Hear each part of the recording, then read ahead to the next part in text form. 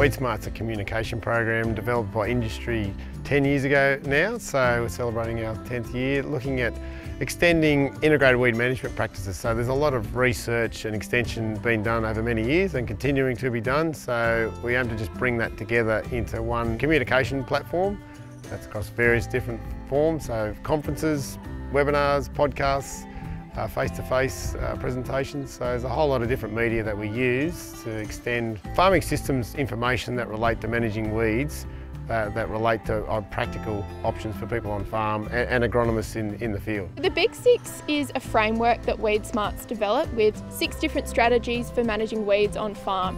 So we can use it as a bit of a checklist to make sure we're doing as many of the Big Six as we can and it's a range of practical tools for growers and agronomists and I guess we try not to rely on one single tool for weed management.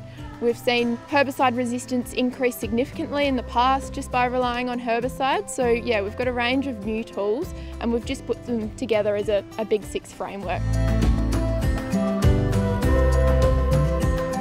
Crop rotation is one of the biggest levers that you can pull in terms of weed management on your farm.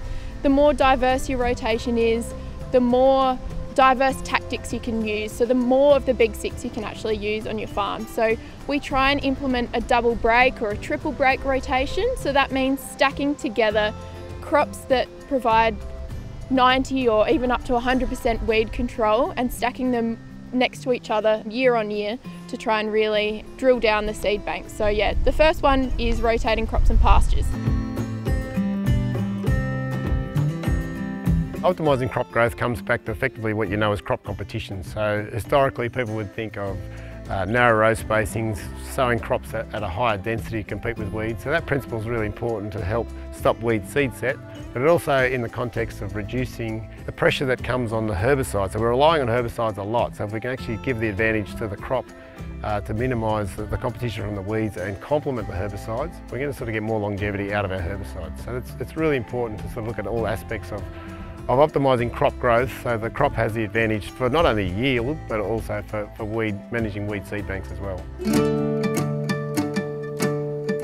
The saying we've got at WeedSmart is rotating buys you time, mixing buys you shots. So rotating groups is just going to buy you time before you might see resistance develop. And ideally we don't want to be seeing resistance develop at all.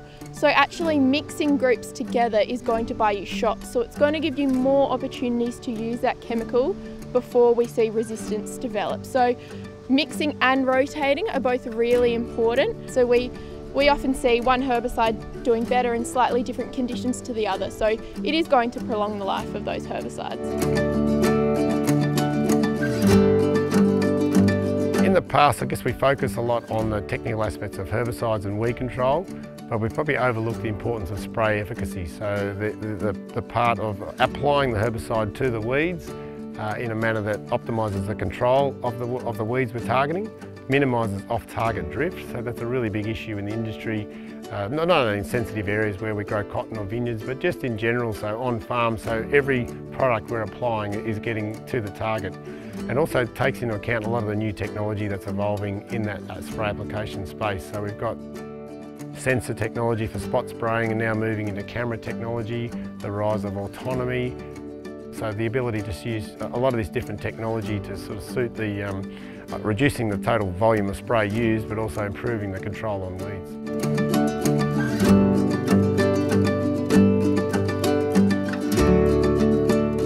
About it, you've got to the end of the season, you've got weed escapes in your crop, which is pretty normal, we see that. So it's the last sort of tool you can implement prior to harvest where you can stop the weeds setting seed because we know that the, the problem weeds that we've got in our farming systems they can set seed and, and keep coming back for one, two, three, four, five years. You're always going to be dealing with those weeds. So it's really important to stop those plants setting seed. So the strategies that growers might use is even sacrificing an area of their crop by spraying it out, double knocking, just to stop a bad patch of ryegrass or radish or whatever weed from setting seed. Hay is a really good option as well for growers that can implement hay, cutting crops down and, and not letting the, the weeds set seed. Using a shielded sprayer, windrowing, spraying under the cutter bar. Harvest weed seed control is, is the final knockout punch. So effectively we've done all these different aspects of, of weed control throughout the growing season and during the fallow. So any, any weed that's got through and is potentially going to set seed, it's collected by the harvester and then is either destroyed in a mill or left on some chaff lines or chaff decks to then rot later on. So it's the, uh, it's the final opportunity to help control any weed that might have set seed in, within a growing season. Six program has been successful since it's been released, so we're in our 10th year now.